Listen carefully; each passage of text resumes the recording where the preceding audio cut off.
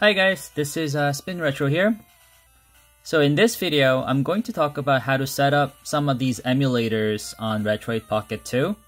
These emulators that I'm going to talk about don't come with Retroid Pocket 2, but you can buy them from the Google App Store. Um, they are gbc.emu, gba.emu, md.emu, and SNES 9X EX+. So these emulators, um, I recommend them because they are all in, they are all very similar to each other. All the menu items are same, and the way you set up these um, keys and emulators are pr practically the same. So I'm going to um, use Game Boy emulator gbc.emu for example here. So I'm going to talk about how to set up the keys and bind keys to system functions such as load state and save state and fast forward or open up the menu. So right now I have it configured so that R2 opens up a menu and L2 fast forwards the game. And I think these are very useful features um, on Android. Um, sometimes you don't have these luxury on other handheld platform. So let's get to it. So let's go to the menu. Right now I have gbc.emu open. Open up the menu and navigate to the key gamepad input setup.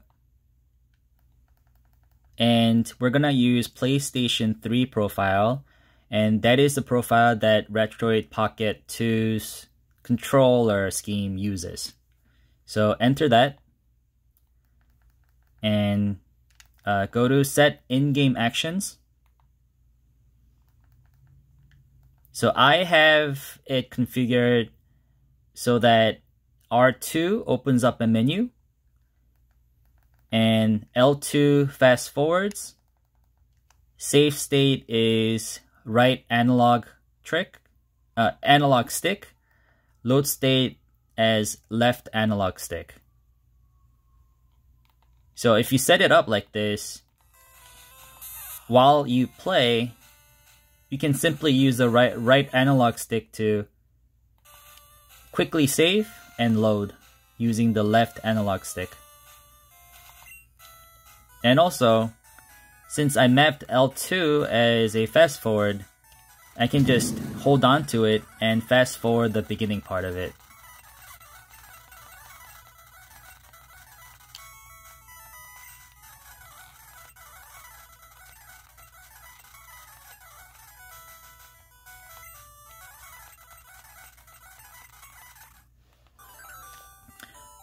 Alright, next thing I'm going to talk about is um, how to over um, how to apply these over over overlay effects such as scan lines. So go to the option under options, video,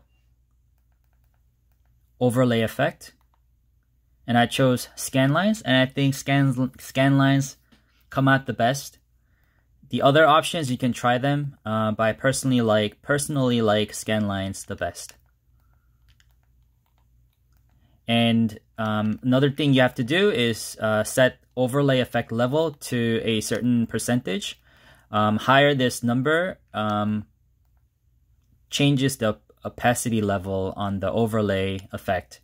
I think 66% is fairly sufficient, so I'll keep it at that.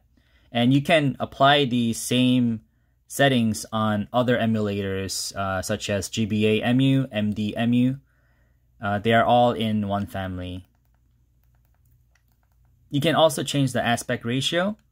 So the originally they have this at 10 by 9 but I personally like it stretched and remove these uh, black uh, letterbox.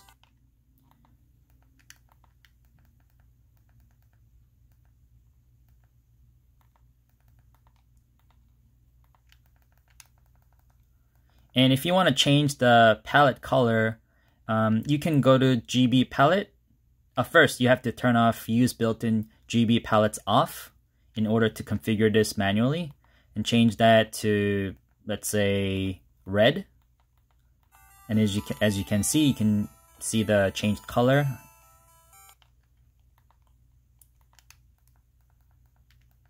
I'm gonna change it back to original and it'll give off the green tint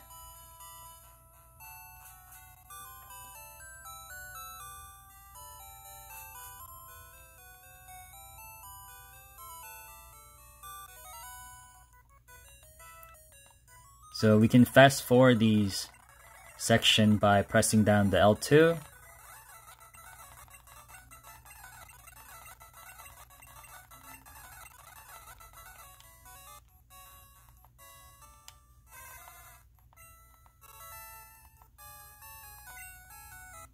We're gonna pick Charmander, the best Pokemon in the world.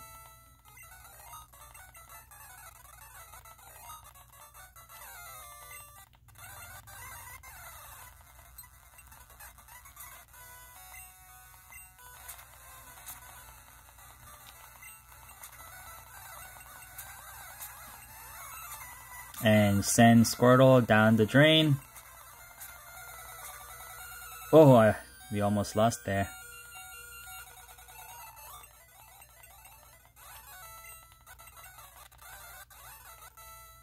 Okay, so you can like like again, as I mentioned, you can use the right analog stick to quickly save.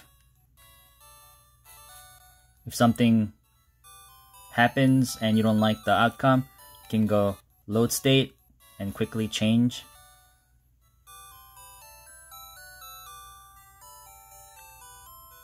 So that's how you set up. Um, if you have any questions, uh, leave any questions uh, in the comment below. Please like and subscribe. And thank you for watching.